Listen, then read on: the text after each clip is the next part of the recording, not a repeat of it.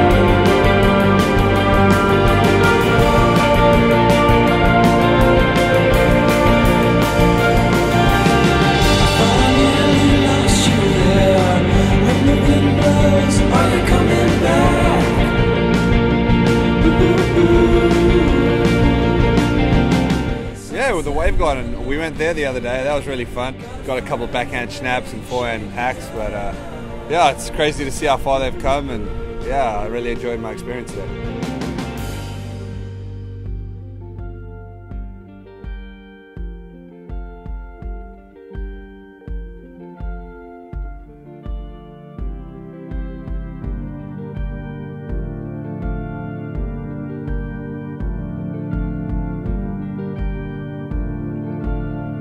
Trestles, it came around really fast this year. You know, last year I had a kind of a good result, but this year um, I really wanted to make the final. At this time, it's Jordy Smith turning around on the inside. And Smith, he'll go berserk on this wave. And I ended up making the semis, but uh, yeah, due to some small conditions, it was really tough and really had to be on point with the boards. He has been a cool customer this entire tournament.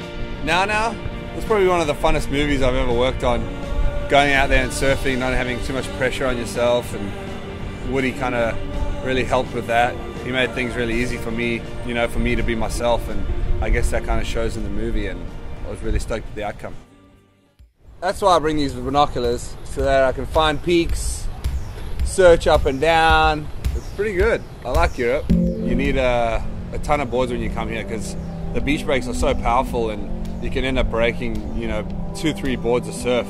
Yeah, I don't know. I just kind of packed my boards uh, at home. I bought about 12 to 14 boards. The conditions change a lot, so you need to have the right equipment. And yeah, definitely came well prepared for for any kind of situation. Yeah, it's quite a long leg, so that's why I bring a lot of boards.